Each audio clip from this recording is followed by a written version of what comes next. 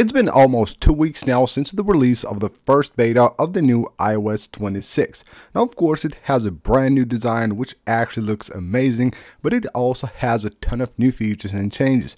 And during these past few days we have been able to discover a lot more. A lot of new features, a lot of new changes, and of course a lot of tips and tricks that I believe every iPhone user having their device on iOS 26 must know and use on their device. So in today's video, I will show you guys 10 new tips and tricks for iPhone users on iOS 26. Now before we get into all that, I just want to ask you guys for a really quick favor. Most of you guys that watch my videos are currently not subscribed to the channel, so if you enjoy the videos and you want to see more of them, please make sure to hit that subscribe button, it really helps out a lot. We're starting things off with the Files app. A lot of improvements have happened to the Files app on iOS 26. But did you know that you can now actually colorize your folders and even add emojis to your folders? It's actually really cool. So when you go to a folder, you actually tap and hold that folder like this. And what you will be able to do here is tap customize folders. Now what you can do is add any one of these icons here that maybe indicate what you're actually saving in that folder. But what you can also do is also add an emoji. Now, once you have done that, you can also go ahead and add a color to add the color, you will need to actually add a tag. So when you go to tags right here, you will have all kinds of different tags. You can also add a new one right here and pick a new color. But once you assign a tag to a folder, then the folder will actually be on that color, which is actually really useful. They look cool, but also it's very useful as it allows you to just find things that you have saved much, much easier.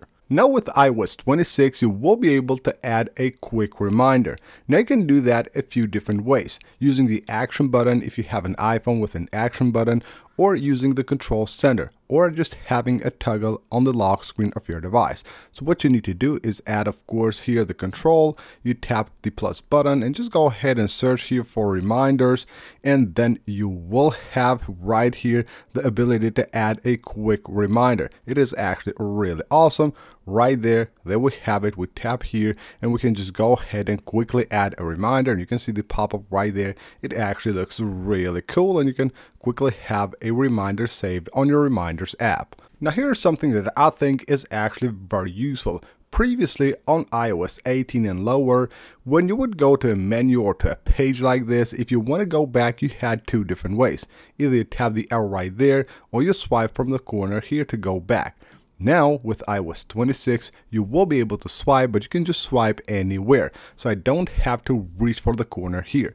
Using your iPhone with one hand, you simply swipe anywhere on the screen and you can go back on a different page. Passwords on iOS 26 also have gotten some really nice improvement, and here's one of them.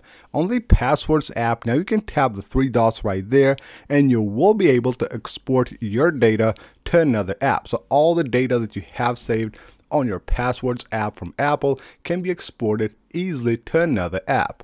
Now with the camera app on iOS 26, we know that we have a total new design here.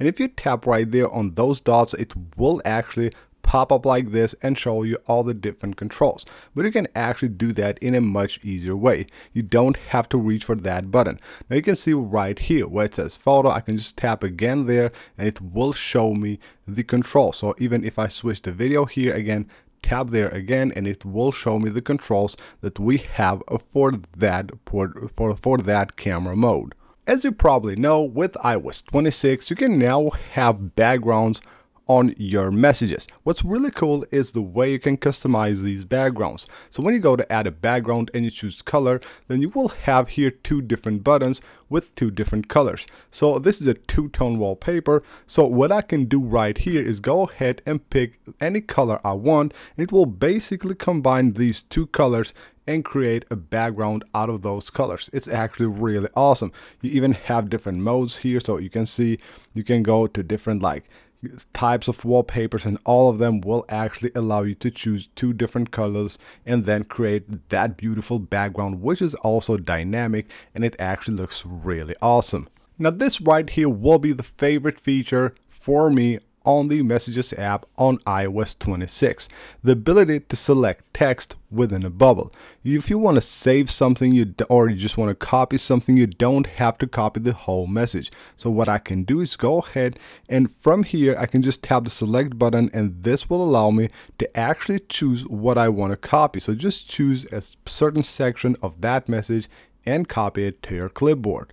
Also on the Photos app, we have a really nice feature that allows us to have your favorite things at the top of your Photos app. So right here we have the media types and the utilities. Now what you can do is 3D touch on any of them and you can pin or unpin them at the top of your Photos app. So right here we have the pinned. We can just go ahead and do that pin that and it will be right here at the top making it very very easy for you to actually find what you need Apple has done an amazing job with the Photos app on iOS 26 way better than the change that they did on iOS 18 which of course a lot of users didn't like and it was actually quite a mess. If you have seen the presentation of iOS 26 at WWDC 2025, you probably have seen the spatial effect on the photos on the lock screen. Well, you can try that out on the Photos app without having to set a photo as a wallpaper. Once you open a photo, if it is supported, it will have that little button right there. So you tap there, it says spatial scene, and it will basically give you that effect. So you can go ahead and take a look at the picture and see that effect for yourself before trying to actually apply it to your lock screen.